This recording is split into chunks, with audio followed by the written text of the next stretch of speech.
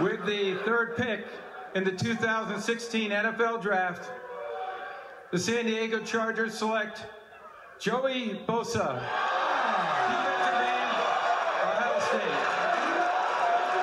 Motor, motor, motor. They haven't had that there on defense, a motor like that in a while. Well, we have to see. How does Are you surprised? Well, the fit, Boone, is what you're talking about. DeForest Buckner seemed to fit better than Joey Bosa.